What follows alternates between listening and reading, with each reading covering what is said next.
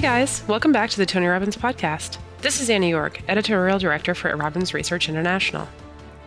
In the last episode, you heard from Tony and investing legend Ray Dalio as they dove into Ray's new book, Principles Life and Work, covering some of the key lessons that Ray's learned over his illustrious career and the key tips, tactics, and insights he wants to pass on to others. Now, in this special follow up episode, Tony catches up with Ray to dig a little deeper into a few core principles that each and every one of us can gain practical and even personal advice from. So, first of all, Ray, it's great to hear your voice again, and thanks for taking extra time with us. You know, you recently asked on Facebook what the favorite principle was or quote from your book from so many people. And I wrote that one of them, for me at least, or so many, was that most of life's greatest opportunities come out of those moments of struggle. It's up to you to make the most out of those tests of creativity and character. And, you know, I've always believed that crisis creates breakthroughs for people. Very often people don't do anything until they have to. And so related to that, our viewers are kind of interested in knowing where the markets are today and how should investors think about investing in an environment that's so driven so powerfully by the Fed? And then kind of a subset of that is really just, well, how should individual investors think about you know, uh, dealing with the inevitable market crashes because people are concerned about market valuations right now. And when we talked before, we didn't really touch on this. So, love to get your point of view about how they can take advantage of these types of environments and how they should think about market crashes. One of the things we try to do is educate people that, you know, corrections happen, you know, for the last 115 years, they happen on average once a year, that we get these crashes every three to five years. It's been a long, much longer time than that on this run, obviously. So how should people look at the markets today and how should they look at how to deal with when inevitable crashes come? Well, I think that when you're asking the question about uh, the issues of struggle, um, let's go to the psychological. So I think you're really talking about uh, psychology in yes. markets. Yes. You're talking about even cycles. Yes. Um, um, so let before we get into the particular of the moment, there is this uh, behavior pattern of people um, that they get very much caught up in the moment.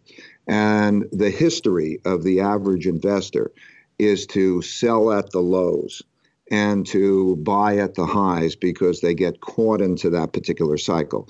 So now you're asking the question of how should a person operate that way?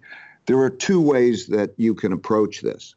You can either approach that as, as seeking balance and playing the game, always being in balance and saying, uh, if I'm in balance, I'm going to be good.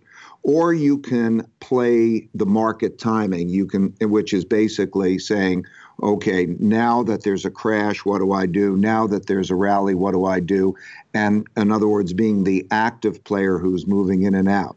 I think it's very important to distinguish those two approaches because the balance is one of those things which I think the individual can do very well. Yes. The the the timing in which the individual um, plays poker against the pros in terms of saying I'm going to be the right one to buy when I'm terrified and the thing is falling apart, or to do the opposite is is probably not going to work well. There's so much that goes into the analysis.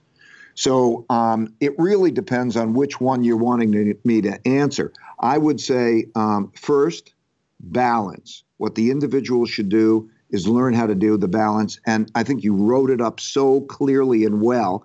You know, it takes more than a couple of minutes to be able to get yes. into it. But yes. in your book, we discussed it. You've you found it, and you can explain how the individual can achieve balance. And I think that would be the most important thing. If you're going down that, that path, then the natural thing that you end up doing is that you buy at the lows and you sell at the highs. Because what happens is if you're having balance, and let's say the stock market goes down, what you have to understand is another part of your portfolio will go up. Maybe it's the bond market goes up. Maybe it's the gold market. Because if you achieve balance, you realize that it's almost like squeezing a balloon. You know, it goes for when, when it contracts someplace, it expands something else. The losses that might take place in one part of the portfolio produce uh, essentially gains because of changes in that environment and by having that balance. But when it when one goes up, then and you rebalance to achieve that balance, then naturally you're going to take profits from that which was the most adv- did the best and go down and buy those things that were uh, less in order to get back into balance And that's the way to play balance. And that would be what I would recommend for the your investors. If you're going to play the game of trying to play poker against the pros, then you better understand how to do that with information. We we literally spend hundreds of millions of dollars in trying to take information and do all of those types of things in order to compete against the other people. And I, I you know, I, I I don't know really how to tell you how to do that well, but just have humility because competing in the markets is more difficult than competing in the Olympics. The average guy thinks just because he has an opinion, he thinks he's going to be able to walk away, but you have to take money away from somebody in order to make money in the markets better than the averages. And that's a tough game. So i uh, you know that's a whole other discussion. Yeah well in my experience that's the reason i was so grateful to you that you we went into such depth on your all weather and now we call the all seasons version you gave for the general public because without that i mean nobody makes it. The statistics that we quote for people is you know you look at the last 20 years of the s&p and the average return's been 8.2 but in the, if you miss just the top 10 trading days in 20 years, it drops down to 4.5. And if you miss the top 20 tra- trading days in that 20 year period, it drops to 2.1. You miss the top 30 trading days, you lost money. So people that think they can time almost never do. And you did such a beautiful job. But I, I just want to bring it people's attention because when markets get overheated, people start thinking about how to play those markets. And as you said, some people are going to do that, but not many human beings have been able to do that successfully through time. So I wanted people to hear that directly from you instead of me. So thank you for that. Yes, and you know, you also um, pointed out that um, over the last 20 years, um, after these plunges in the market, um, in the two weeks after of the 10 worst days, you had the best days. That's right. Six out of the 10 best days in the 20 year period from right. JP Morgan. So, so, who do you think is buying and who do you think is selling? during those days. yeah. Okay. Yeah. okay. The, the person who is selling is the reactive person who is panicked at that moment and and you know the buyer is the ability to know the difference and where the value is and that's you know that's a tough game. So i'm we're in sync Perfect. Okay, good. I just want to hear people hear that from you instead of from me. So thank you for that because there's so much uh, talk about it right now, as you can imagine, with markets where they are. Second question I had for you, just to follow up, is you know everybody seems to be fascinated these days with digital and you know cryptocurrencies like Bitcoin, Ethereum, and so forth. Bitcoin dropped 20% over the weekend, yet it's still up 5% on the year. I'm curious, what are your thoughts on this type of an asset? Is this just going to Vegas? Uh, what's your, what, you know, how do you establish real value with a product of this nature, and what, what's your view? Um, I think that there. It depends what we're really talking about. Are we talking about Bitcoin specifically? Are we talking about blockchain? Are we talking about digital currency? Some of these terms uh, get confused. That's so let true. me give you my let me give you my thoughts on each one of them. Great, thank you. Uh, let me start with the currency thing. There are two purposes of a currency: um, a medium of exchange, you can buy and sell things with it, and a storehold of wealth. When you buy a bond or you put your money on deposit, you get paid back in a currency. And it's because of the expectation of that currency value that you make loans and you put your, in the form of deposits or buying bonds and so on. Mm-hmm. Okay. Right now, these digital currencies are not effective in either of those two ways. In other words, by and large, not perfectly. But in other words, if you try to take your digital currency and you go out and you say, I'd like to buy stuff with it, right now it's very, very undeveloped. So what's happening now is is not largely not that in that regard. Right. And in terms of uh, uh the uh, storehold of wealth, it's not an effective storehold of wealth because its volatility is so great that it's really speculation on its volatility that is having the market participants. So it is a speculative market that has underneath it. Um, by the way, there are different versions of it, like you point out. There's there's uh, Bitcoin, and then there's Ethereum, and then there's another one, and another one, and they will be that way. So the way that I view it is that underneath it is a technology blockchain that is a totally valid, great technology that I think will be very important in our future. So it's very similar to saying um, this is like the internet. Do you believe that the internet will do well? And then when you say, do I want to b- bet on block? Uh, do I want to bet on Bitcoin? That would be something like saying, do I want to bet on that particular technology? Will Bitcoin become BlackBerry, okay? Because Ethereum or the next version comes along, even while the blockchain uh, technology and the development of currencies and, and whatever happens. So right now, so you have to ask yourself, what does that mean? I think that um, the blockchain technology is great, but just imagine that you were saying the internet technology is great. Okay, then which stock do you buy and how do you play that? That's a difficulty. Yes. The idea of being a, a, a viable currency is a is a long way off although central banks will use the blockchain technology and and make their digital versions of currencies although they'll be behaving quite differently than the ones that we're looking at. So it's uh, uh you know are you playing? What are you doing? Are you playing for the long-term investment of technology? How, that's like saying how do you play with the internet? Not an easy thing yes. because its manifestation is. I will say that right now, most of the um, uh, the playing with it is, uh, or the uh, let's call it, it, the speculation in it is for a, uh, a sale, a resale, and it's a lot of speculation going on. It has the ingredients, if you were to take Bitcoin and then some of the others, it has the ingredients of a bubble. Okay. Yep. Meaning it's a risky thing and there's not a good grounding. So I just want to distinguish what I'm saying. It's not something that intellectually I could get my head around um, how to deal with Bitcoin other than the speculation. I'd be concerned. I like the underlying technology. As a currency, it's got a long way to go. Perfect. That's beautiful clarity for those. Uh, I just want to bring back one moment, though. You, you mentioned earlier, we are talking about the balanced portfolio in any environment and how it helps you to, you know, buy low, sell high per se.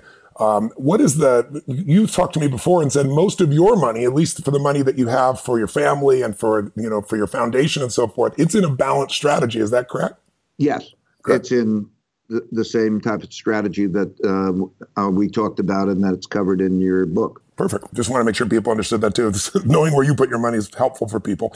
Uh, two last questions, real quick. Um, you know, you did a study of enormously successful people, Jeff Bezos, Bill Gates, Steve Jobs, Elon Musk, and so forth. What did you find they have in common? You know, you, you're one of them, but when you look at the other people outside yourself, you t- I know you've taken a lot of various personality tests and you focus on qualities that they might have in common. What do these great business titans have in common that you found? Um, and by the way, uh, you're one of them and has the same sort of qualities in, in common. So it's it's an interesting thing. Um, Thank you. First, um, they have an they can visualize um, a future and see a present mm-hmm. and see the gap and have a compel compelling need to eliminate that gap. Mm. And it, it's it's it's a compulsion. It's a That's I, true. I, I, I need I need to reduce that gap. That's true. And they have a practicality that actually lets them do that, that they go into it. And they don't let people stand in the way of them doing that. That's this is the interesting thing, but they operate in very open-minded ways, but they also don't let people doing that. Because when you have an independent point of view that is not popular, that is different from the crowd, as each of those people say, um, you don't know whether you're right or whether you're wrong. But you when you visualize it and you can taste it, and people around you are telling you it's wrong, it's not the right thing. The question is, what do you do with that? And so, what they will do is they will work themselves through that. They will have, um, in other words, they'll do the double checking and whatever yes. it is, and they'll through and they'll pursue it with perseverance and they pursue it smartly with perseverance. In other words, they understand risk and reward. Yes. They don't mind they don't mind making mistakes along the process of learning to get to the journey. They believe that's right. They can uh, and a, a very important thing is in dealing with the feelings of others.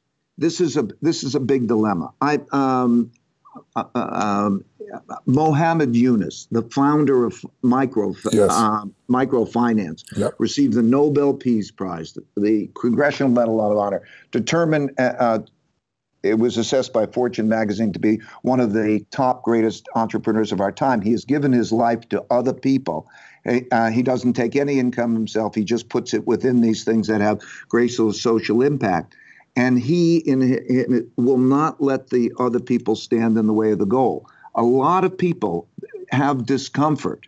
In other words, um, there'll be somebody. They've got to be made sometimes uncomfortable. You got to cut through and get to the the the um, the job done, even if it means discomfort for for people. You got to work yourself through that. They are people who can see the big picture and the details. Yep. Maybe maybe they see it all themselves, or maybe they're working well with others who can see things that um, that they know that they can can't. Oh. I won't refer to some some of the names because I've done these uh, discussions with them in, in, the personality tests, and I you know promised to keep the, the particulars private. Sure. But there there is there are some people who can visualize the big thing. Okay, let's say Elon Musk uh, going to Mars to, in other words, colonize Mars. Yep. Okay, and and and and such things, and at the same time can pay such attention to the details, um, and so that that range is a big deal. And they they achieve that range. And I'll give you other names. I'll, I'll give, I'm thinking of other people. Won't give you their names. Sure. Who are able to basically see the big picture, but know they can't see the detail. Or, and then they have partners the biggest secret to all of this is to know how to partner well with people who could see where you can't see, and to one way or another be able to see the big picture and execute the details. So to put together the, the teams correctly. They also um, tend to do things that are um, that you assume uh, people uh, don't do together. Let, let me give you an example. Um, very creative, but also very structured. Yeah. I oft, ordinarily you'll have a creative person who uh, you know you say oh they're very very creative but you know they don't like structure. And, or a very structured person doesn't like creativity. Both of those things are needed. Now whether they do that together or whether they are able to do them both simultaneously that's the thing. So they have vision. They, that gap is the thing that they have a compelling need to uh, eliminate. And they do it with, uh, by bringing together these different qualities, whether they have that in themselves or in partnership with others. They all really, um, the best ones, are people who not only have good mental maps of how things should be done, but they have high levels of humility. It may mm. not look that way to an outsider. You may look at some of these people and you could say, wow, they just sound so brilliant and they're asking the questions. But if you're in discussions with them, and I'm sure you've been in discussions with them, sure. When, what you find out is generally speaking, that what they they're they're they're curious, it, voraciously curious. They're wondering if they're wrong. They're taking in information, so they don't look as confident when they're doing it. Um, uh, uh, uh, when you're in those conversations, it really depends who they're speaking with they have an ability to distinguish the the smartest people to speak with from the less smart people to speak. So so they tend to speak to the smartest ones that they can speak to, but they like to find people who disagree with them so that they can make sure that they're right and they can learn. Yes. It's beautiful. Wow. That's one of the most thorough descriptions I've heard. And you know, when you talk about the compulsion to close that gap, I can certainly relate to that with myself, not to mention the people that you've mentioned and the people you and I have as mutual friends. We all seem to have that that portion in common. It's the one that jumps out to me most. But you're absolutely right. That ability to see the big picture and the details there are very few people do that, but the bridge, the people that do bridge, and you say they have a really a great ability to partner with others who have those skills that they're missing. What makes them effective at partnering like that? What's the quality in them that makes them the, effective the, at partnering? The, the, the, the number one differentiation in character is the ones who can go above their own opinion and yes. to see it through others' eyes. Mm. Like I, I, I've observed this um, repeatedly. There are certain people who are attached to their opinion. They think, well, just because they think they have this opinion that the opinion has merit. I mean, they're terrible, terrible opinions. the ability, uh, in one sentence, to, um, in two words, the ability to be simultaneously open minded to take things in, to take information in and process it, and also be assertive so that they can do the back and forth yep. is the ability to so to rise to say I might be wrong, and how do we f- together figure out whether I'm right or wrong. So, you know, there are th- uh, three things that I, that are essential to do in order to have an idea meritocratic relationship, and whether that's in partnership or it's in a family relationship or almost any relationship, it, it, it's a better relationship if it's an idea meritocratic partnership. That means yes. not just one person's in boss and somebody else follows. Yes. And how do you have to do that? There are three steps that you have to do. First, you have to put your honest thoughts on the table. Then put your their honest thoughts on the table, and you could look at them. A lot of people have problems doing that, hmm. but they have to. That's but that's important. The second thing is you have to know the art of thoughtful disagreement. In other words, what I'm describing, the ability to take in and think and work yourself through that, to view disagreement as a curiosity and a respect for the other person to do well rather than an argument. There's an instinctual, subliminal reaction to disagreement that makes people think it's a fight or there's yes. something. And I, and I want, want to emphasize decision making is a two step process. First, take it in. Second, decide. Mm-hmm. Your taking it in does not in any way diminish your ability to decide. You're being stupid. Any of us, I'd be stupid if we don't take it in and then decide. So the capacity, so step number two is to have thoughtful disagreement. First, your honest thoughts on the table. Second, the know the art of thoughtful disagreement. And number three, that if disagreements remain, to have agreed upon ways of getting past them.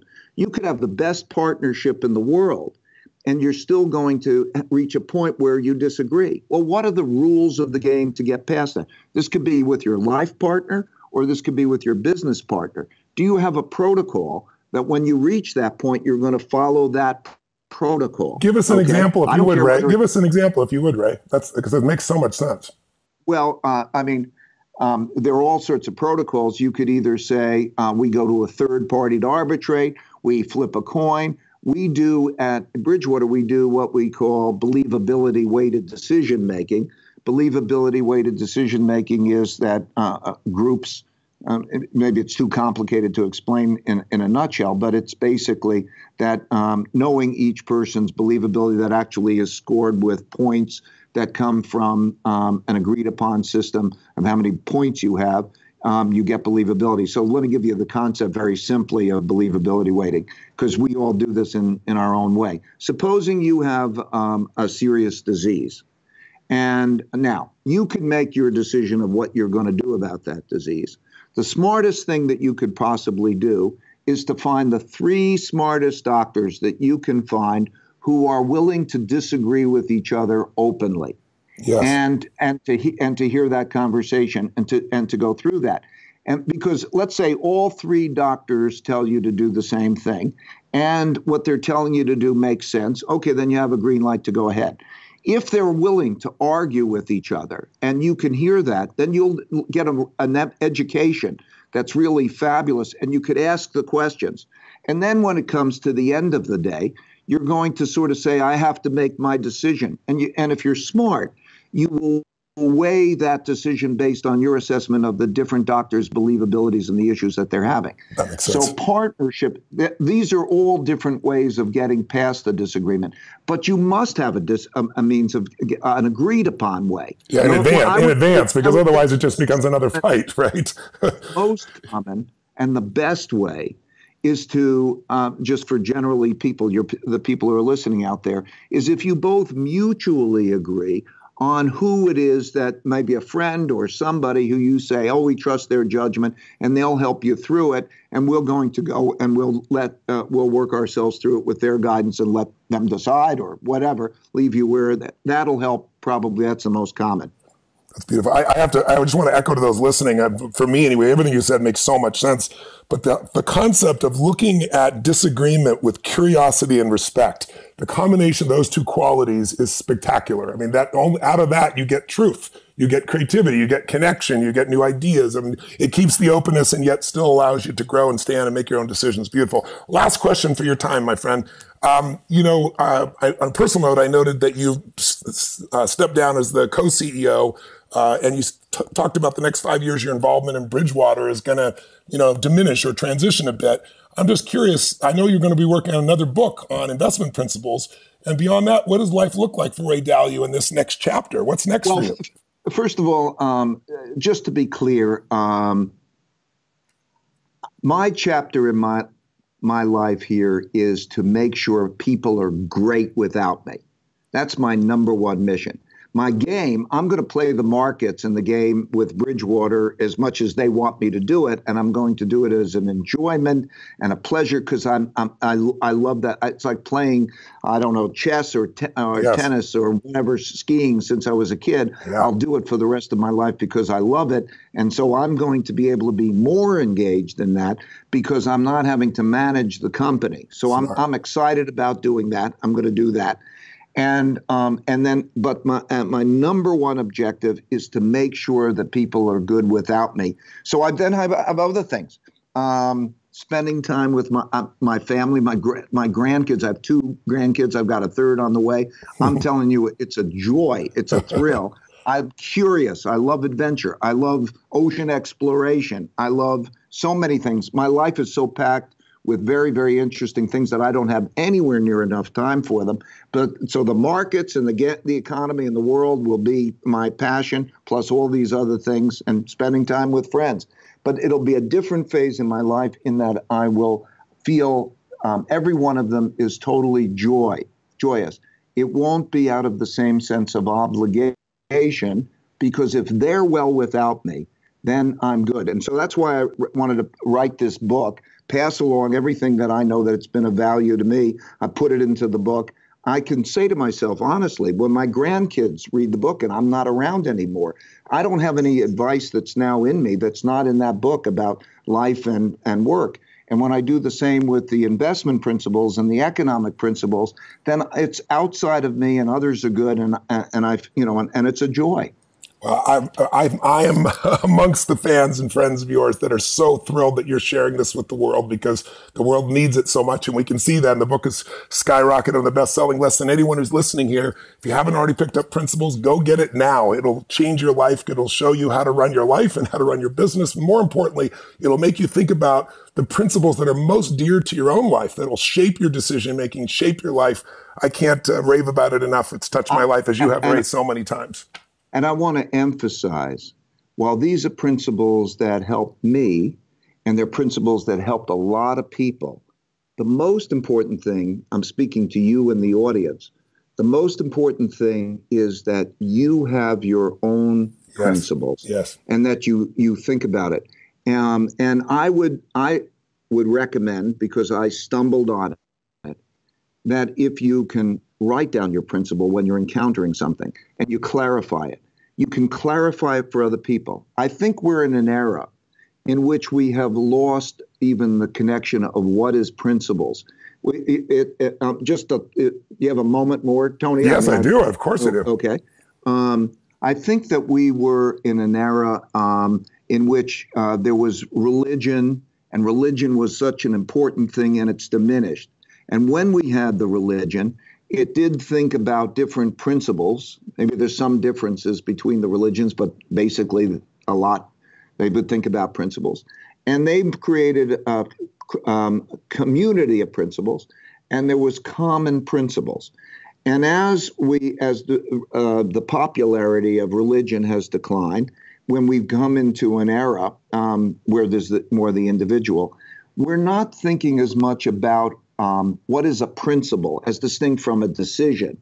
Um, in, if you think about it in, in school, it won't teach you such principles of how to live your life or um, just generally speaking, um, even thinking, what are your principles? So I think we're in an era in which there's the individual, and I like individual thinking um, and, and respect it. So I think we're in a in an era in between a time where we will need to be clearer on our principles and in, individually and then collectively. And the way that we're going to come by that that new era, I believe, is by individuals writing down their principles and being clear about the principles, starting to think in a principled level way, And then by being clear on the principles, then we could see what principles do we have in common and what are the principles that separate us. And I think it's an issue for our country right now. Because if you take a look at it, what are our principles? Are we just fighting over tactical things? Or do we have principles in common? Uh, and what are those principles? For example, um, you know, like the notion of uh, equal opportunity. Is that a goal? Is that a, is that a principle in common? What are uh, what is it that are our principles that bind us together as a people, and and what is it individually? I think that there's a gap in those things, and I think by being clear, whether you you don't have to even write down your own principles, you might find that you like this person's principles or this religion's principles or that, but to be clear on what your principles are and to operate in accordance with those principles and to be able to communicate them with others is the most important thing because whether you have principles in common is what binds people together or divides them. And I think it's important to be clear. That's the most important thing. I think you're absolutely right. And I think, uh, you know, without clear principles, uh, decisions are made just emotionally, they're made irrationally. And that's where you see the worst part of human beings very often, or at least the least successful part of human beings. But when we find those in common, that binding is there and it's easy to make decisions. You know, people get focused, as you said, on tactics and they forget we all give a damn about our children, whether or not you believe that guns should be available or not be available is a cra- crazy example. It's out there for everything. And uh, we're going to turn the tables on this interview in a second here. We're going to take a quick pause and we're going to flip over and I'm, I'm taking the reverse role. You're going to be interviewing me on my principles. So I'm interested to see what we come up with. But I think you know everything in my life is based on principles. I couldn't get up and do seven days in a row, day and night, 12, 14 hours a day with people from 75 countries uh, when people stand up, I don't know what they're going to do, but I have a set of principles that no matter what they do, guides me to help them to get to where they need to be. And so without that, I don't know how I'd even function. So I really, I first want to thank you for this part for jumping back on again for these additional questions, Ray. And I'm just, again, want everybody to go pick up your book immediately because this will guide you to figure out principles that can enhance the quality of your life, enhance your business, but also, as you said, guide you to really uncover what are the principles that matter most to you so you can align your life with what you believe is right for you and align with other people in a way that allows you to grow your organization, your family, your community, your life. So thank you for this. I really, really appreciate it. I love every time we have a conversation. It's so stimulating, Ray. Me too. Love it. Thank you. Okay, brother. Take care. Bye bye. Bye bye. For more on Ray Dalio's principles, life, and work, visit www.principles.com, where you can watch Ray's TED Talk on how to build a company where the best ideas win, listen to some excerpts from the audiobook, or simply order your own copy of Principles today.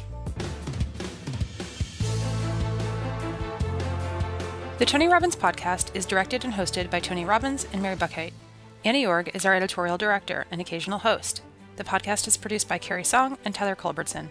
Jamie Carvajal and Adriel De La Torre are our digital editors. Special thanks to Diane Adcock for her creative review. Copyright Robbins Research International.